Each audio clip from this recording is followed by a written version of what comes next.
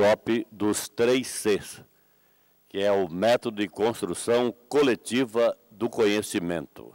Para tratar deste importante assunto, nós temos a honra e a alegria de convidar Ángel Humberto Facundo Dias, da Universidade Externado de Colômbia. Ángel, por favor.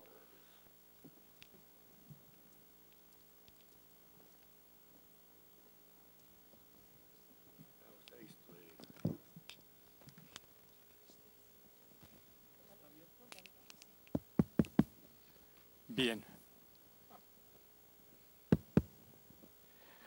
Bien, muy buenas tardes. Eh,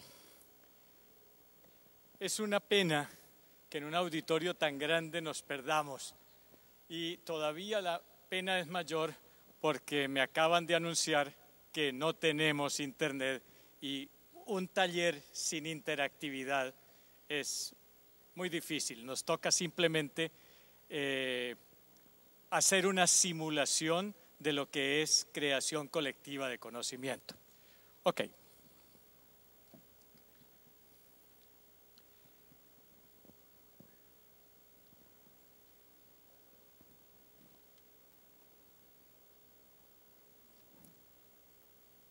Se me pidió que habláramos de una experiencia que es resultado de una serie de investigaciones y que nos ha dado excelente resultado. Es una experiencia que ahora estamos realizando en una maestría recién creada que se llama una maestría en evaluación y aseguramiento de la calidad de la educación.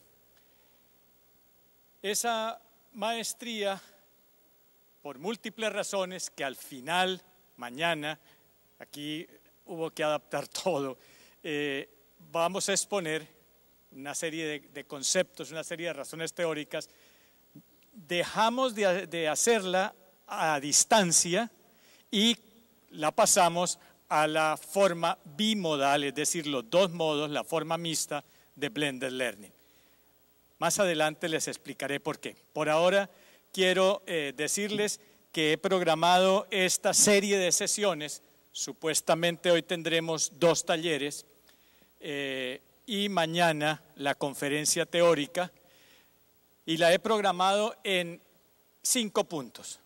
Lo primero, cuando uno se para frente a un auditorio es ¿y quién es él? Como en la canción española, ¿y quién es él? Pues bien, yo soy Ángel Facundo, un colombiano que estudió en la Universidad Nacional de Colombia filosofía y luego tuve la suerte de irme a Alemania a hacer una segunda carrera, sociología, y el PhD, el doctorado, en, y digo eh, la suerte porque me tocó la universidad más importante desde mi punto de vista, que es la Universidad Humboldt de Berlín. Vamos a ver después por qué. Porque es la universidad que creó el nuevo modelo de universidad, la Universidad de Investigación. Tan pronto regresé a Colombia, y estoy hablando de hace muchos años, en el año 78 recibí yo mi título de doctor en la Universidad Humboldt. Comencé a trabajar como docente en la Universidad Nacional, que es una universidad presencial. Es la más importante universidad de Colombia, pero en la modalidad presencial. Es el alma mater de las universidades colombianas. Y de ahí fui llamado por Colciencias, que es el, el CNPq nuestro, ¿ya? para hacer un pequeño trabajo, que era coordinar un equipo de alrededor de unas 120 personas, estamos hablando de los años 70, finales del 70, para entregar en los seis meses siguientes todo el plan de ciencia y tecnología, el primero que se hacía para el país. Ustedes vieron a, Olaf, el otro alemán. Alemania está muy enfocado hacia la planeación. Pues bien, como yo estudié allá, estoy también muy enfocado hacia la planeación y hacia la investigación. En esa época no había computadores, no es tan fácil como trabajamos hoy en día. Tengo la anécdota que nos tocó sacar a todas las secretarias y cerrar la cafetería, colocarlas todas allí para poder en los seis meses simplemente eh, tipear, es decir, escribir en máquina los nueve volúmenes que eh, soportaban con investigaciones un crédito ante el BID eh, que se necesitaba para soportar el plan de ciencia y tecnología. Cuento esto porque en el año 81, estando yo en esa pequeña actividad, me llamaron del CNPq y es la primera vez que llego yo a este maravilloso país. En el año 81 fui invitado a los 30 años del CNPq. Tuve la suerte de que me recibiera en el aeropuerto nada menos que Carlos Chaga Filho. ¿ya? Fue mi anfitrión durante toda la estadía. Entonces, el recuerdo que yo guardo de este país es maravilloso, no solamente por esa anécdota, sino porque en ese momento, quizás ninguno de ustedes había nacido, ¿ya?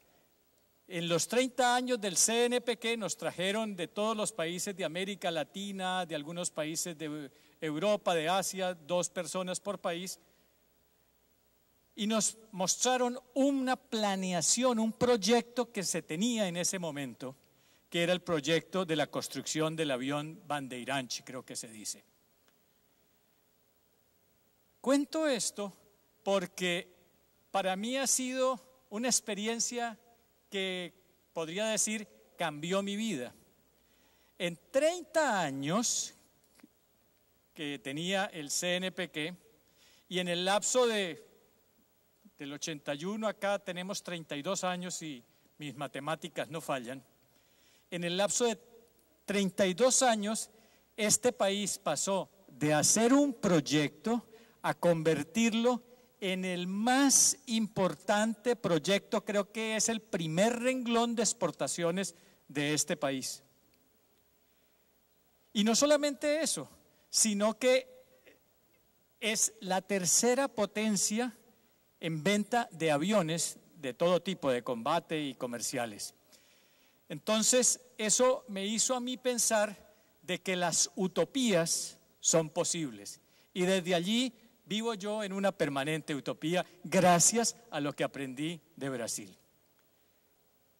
Otra utopía que he hecho y relacionada también con Brasil es que durante un par de años trabajé como investigador para el, eh, Instituto de Internacional de Educación Superior en América Latina y el Caribe, que es YESALC.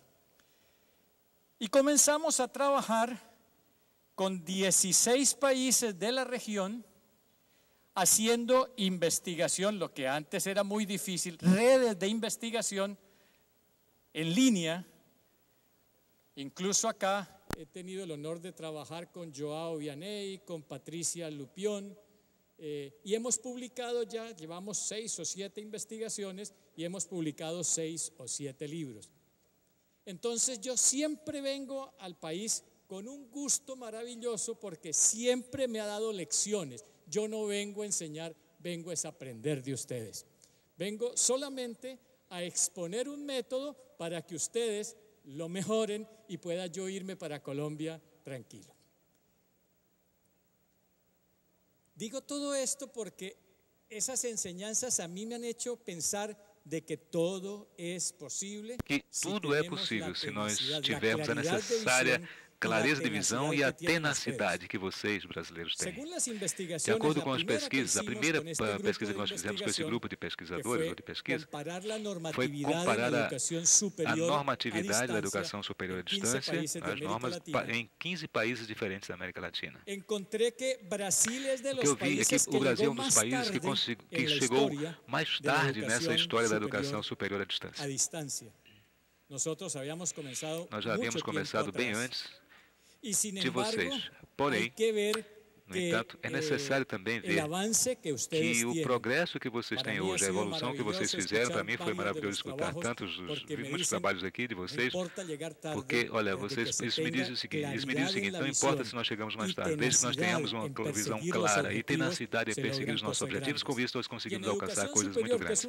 No ensino superior, que é uma das áreas da minha pesquisa, Aí também eu vejo a mesma coisa. O Brasil chegou tarde, eu diria, acho que entre nós, enquanto nós tínhamos já universidades no século XVI e século XVII oferecendo esse tipo de, de, de oferta, eu acho que o Brasil começou nos anos 30 a ter universidades no estricto senso. Seja, acho que antes havia escolas, não é? Mas na década de 30, faz pouco tempo que eu li, inclusive, o ranking de Xangai, na China. Eu vejo o seguinte, que da América Latina, apenas 10 universidades de toda a América Latina, somente 10 universidades estão entre as melhores 500 universidades do mundo. O que se chama das universidades de elite, ou as World Class Universities em inglês. E dessas 10, 6 são brasileiras. De modo que de maneira que eu vir falar com vocês não é vir ensinar absolutamente nada, é vir aprender com a clareza de visão que vocês têm. e aprender com a tenacidade que vocês têm para alcançar aquilo que vocês se propõem a fazer. Este, portanto, é um país que me convidou desde 2006 até agora, para todos os anos, os anos para assistir ao Congresso da ABED. Infelizmente eu não consegui, mas desta vez, mesmo correndo, eu tive que deixar muitas coisas para trás, para estar aqui com vocês e compartilhar com vocês esse método que nós denominamos o método da criação coletiva do conhecimento, CCC. Bom, e mais o que, é que eu posso contar para vocês da minha vida? Olha, durante sete anos eu elaborei, eu, eu projetei um doutorado na área de gestão do conhecimento na Universidade Nacional Aberta à Distância, então, que inclusive é anterior à universidade, à universidade de vocês, que celebraram 30 anos. No entanto, os desenvolvimentos não são como aqueles que eu conheço, porque eu tenho acompanhando ah, o que vocês têm, ah, têm feito, embora vocês não saibam, mas eu estou ainda esperando que para verificar o que é que os, quais são os desenvolvimentos que vocês têm. Eu estou eu estava elaborando um mestrado na área, um doutorado virtual à distância, inclusive na área de gestão do conhecimento, mas não, não acontece. aqui uh, não, não, tem a ver com o filme de Moldova. Nós tentamos e fracassamos por uma razão simples, porque o Conselho o conselho que dá a permissão, o registro qualificado, nós chamamos lá em, na, na Colômbia, para que um programa acadêmico seja implementado na prática e seja oferecido, lá se chama Conselho Nacional da Educação Superior, CONACES, em, na, na Colômbia. Ele tinha uma política na qual eles diziam, olha, nem doutorado na área de pesquisa, na, na, na Colômbia tem dois tipos de doutoramento, né? um é de pesquisa e os outros são de aprofundamento. Nem o doutorado de pesquisa, e muito menos ainda, perdão, vocês mestrados de pesquisa, e muito menos os doutorados. Nenhum desses pode ser feito à distância. Esse que o nosso Conselho de Educação dizia. E por que pensavam eles? Porque não há pesquisa. E nisso eles têm muita razão, porque a, a, a pesquisa é muito pouca. A pesquisa que nós temos feito na área da, da educação à distância. Mas talvez ainda pior eles teriam, acreditariam que não, ser, não seria possível fazer pesquisa na modalidade à distância, somente presencial. Daí nós tentamos, nós brigamos, havia outras, é, havia outras questões objetivas também, por exemplo, de falta de condições por parte da universidade, de que é, houvesse um grupo estável de pesquisadores, etc. Eles tinham razão nesse sentido, que não tínhamos mesmo, mas daí isso acabou criando para mim um problema fundamental. Para que alguém pudesse tentar fazer alguma coisa, ter-se-ia que ter sempre um problema. Tem-se que ter um problema para transformá-lo numa necessidade. E isso, para mim, se transformou numa necessidade. É um desafio. Olha, isso não é um problema. O problema não é somente a carência de alguma coisa. Não. Se por algum motivo, digamos, vocês deixou seu carro lá do lado de fora do centro de convenções, e aqui, claro, não ladrões, mas vamos supor que, somente para fins de exemplo, de que alguém leva o seu carro, o, auto, o carro não está lá. Mas para vocês isso não é um problema, por quê? Falta a vocês não têm a consciência aqui dessa carência que está lá. Em alemão, há uma diferença entre Bedalf, que é a caldência, e Bedürfnis, que é a consciência dessa carência. Então, Pois esse problema, então, o problema de que nós, eles não aprovavam o nosso programa, o nosso curso, porque havia essas políticas, eles não aprovavam as, os mestrados em pesquisa, o doutoramento em pesquisa, à distância ou virtuais. Isso fez com que eu ficasse consciente da, dessa necessidade, dessa debilidade. Daí nós começamos a trabalhar no sentido de demonstrar que é possível sim. E nós vamos ver aqui se nós conseguimos fazer isso, senão nós não vamos fracassar na nossa tentativa.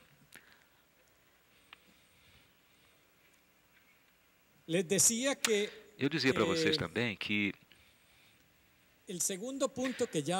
o segundo ponto que eu citei é por que, é que nós fizemos isso no mestrado não virtual? e não um processo de blended learning, ou seja, um, modo, um sistema bimodal, cuja justificativa foi todo um projeto de pesquisa, que é aquilo que eu procurarei fazer aqui com vocês amanhã de manhã durante a sessão plenária. Né?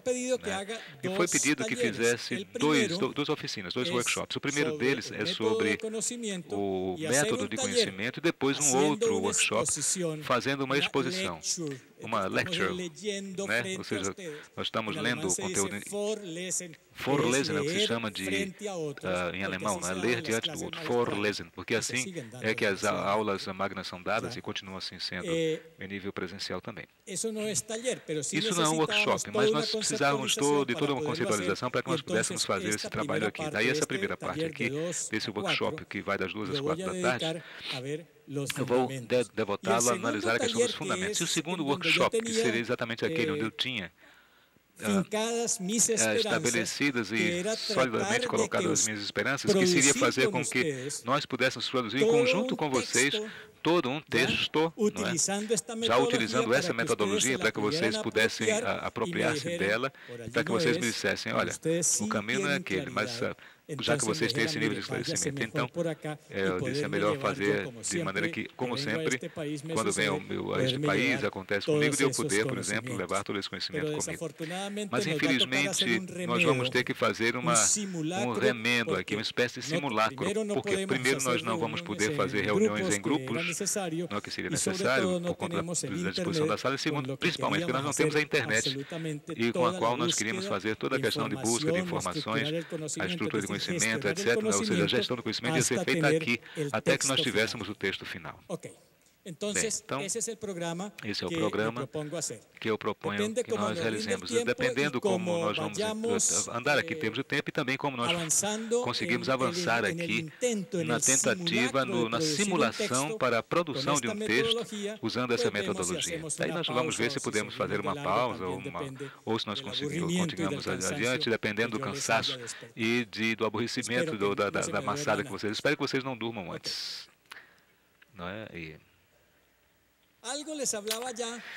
eu já falava para vocês aqui sobre as necessidades, ou seja, qual era a necessidade fundamental que nós tínhamos.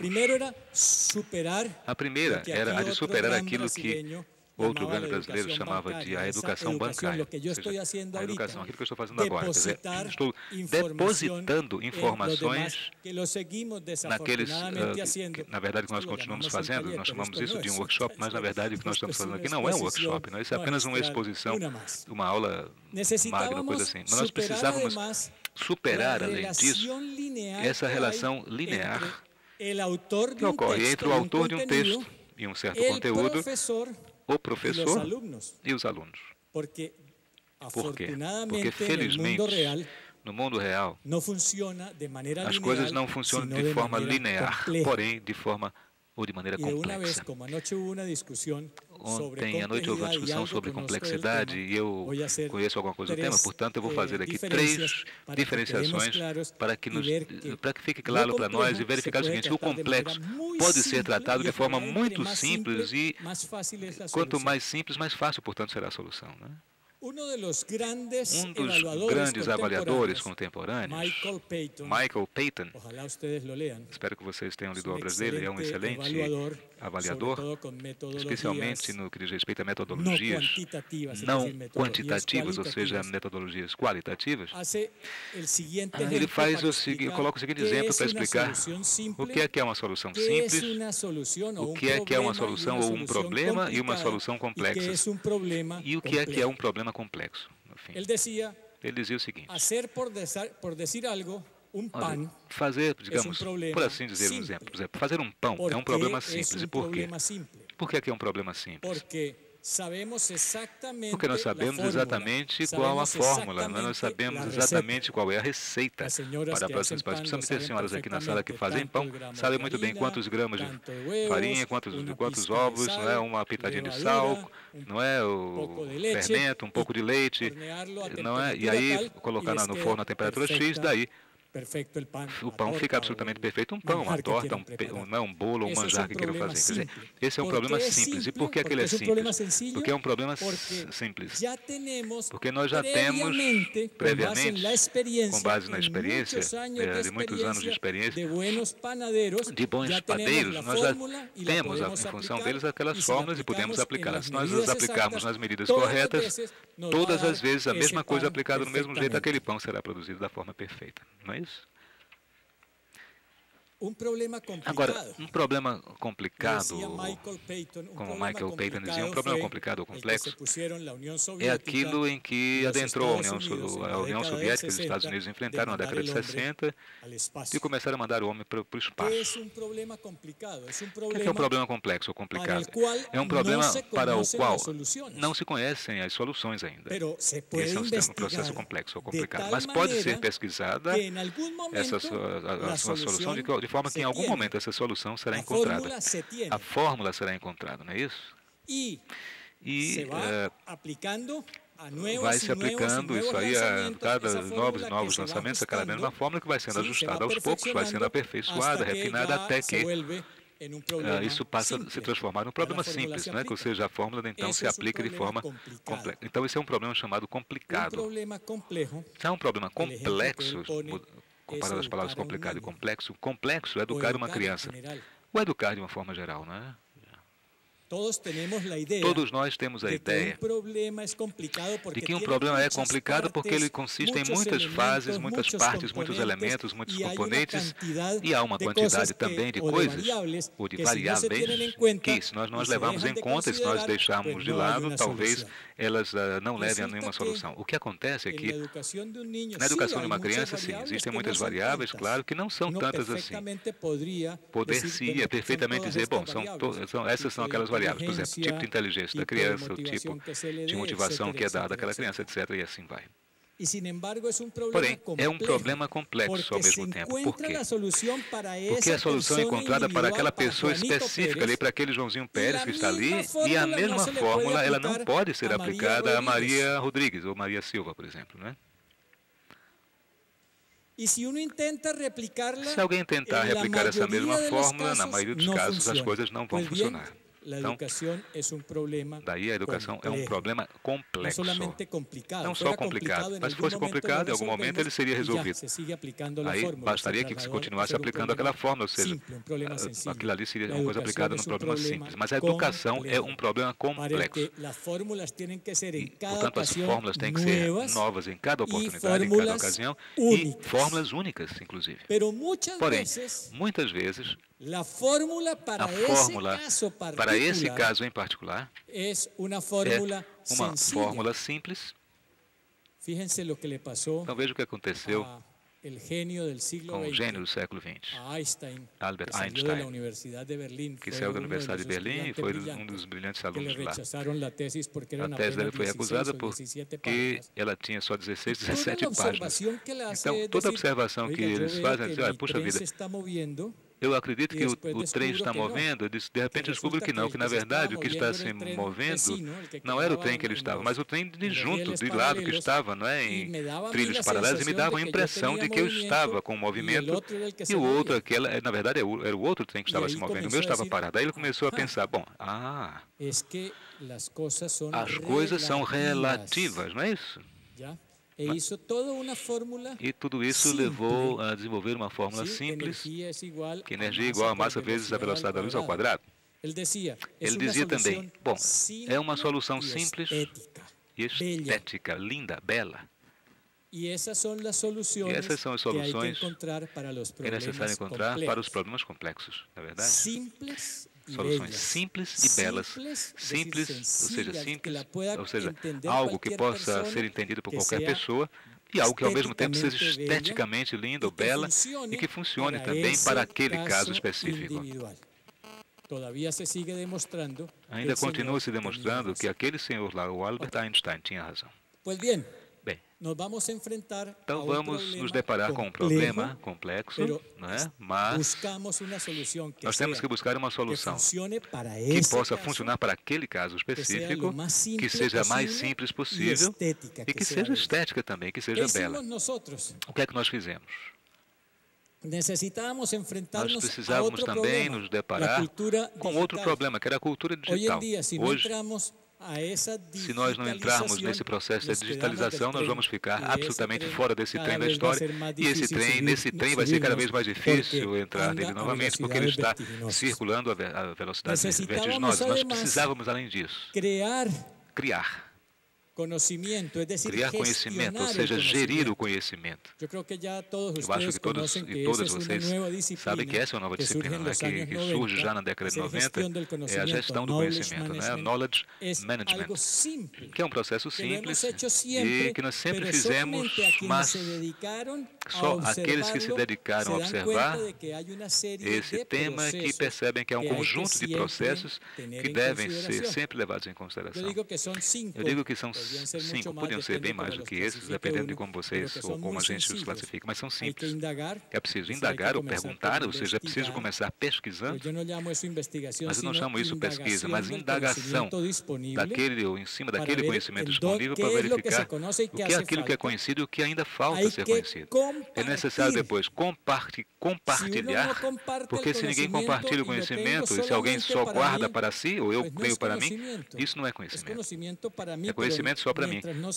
Mas enquanto esse conhecimento não chega às outras pessoas, enquanto ele não é compartilhado, nada acontece. Nós, na história das ciências na Colômbia, temos um caso espetacular, um caso maravilhoso. Um dos nossos uh, próceres lá, não é, da independência, nós chamamos o sábio Caldas. Sábio Caldas. Ele descobriu um compasso que é extremamente necessário para um, um, um, uma bússola que era necessário para os veleiros na Espanha. Ao mesmo tempo, né, compasso é, é, bússola. Um, alguém mais fez um conhecimento e se atribui esse descobrimento, por exemplo, ao outro e não ao sábio Caldas. Muitas vezes podem acontecer muitas coisas conosco, né? muito semelhantes às vezes, né? uma bússola no caso da. Nós podemos estar descobrindo coisas aqui, mas nós até duvidamos, nós acreditamos até que nós não somos capazes e que aquela teoria, imaginamos que essa teoria não vai funcionar, que essa hipótese também não funciona, e simplesmente nós as colocamos de lado, jogamos fora. Então, tão logo nós tenhamos esse, esse compartilhamento de conhecimento, nós temos que começar a estruturar, a sistematizar esse conhecimento, a conceitualizar, para torná-lo belo, ou seja, que seja compreensível e entendível por todo mundo. O quarto processo, porque na verdade são processos muito simples, é aplicá-los, começar a validá-los e que eles funcionem nos casos para os quais nós os criamos. E haverá casos também que eles não funcionam. Nós vamos dizer, bom, até ali nós já chegamos. Então, há um outro problema, bom, então temos que encontrar uma outra solução para os problemas derivados daqueles, porque esses são os problemas complexos, não funcionam para as outras gerações, para, outras pessoas. E o último item lá, que novamente tem tem a ver com a pesquisa. Se nós já descobrimos qual é a solução, então nós vamos ter que mais e mais continuar ampliando essa solução, né? estendendo, ampliando. Nós precisamos contar com uma orientação, com uma, com uma guia conceitual para os nossos alunos, especialmente para que eles pudessem demonstrar que a metodologia à distância, no nosso caso, a aprendizagem bimodal ou mista, pode ser investigada ou pesquisada e pode-se fazer uma boa pesquisa. Né? Nós precisávamos também demonstrar que essa pesquisa é, é, um fato. Esses são os desafios que nós enfrentamos aqui, mas vamos ver se esses desafios podem ser superados. Vamos ver aqui. De onde partimos?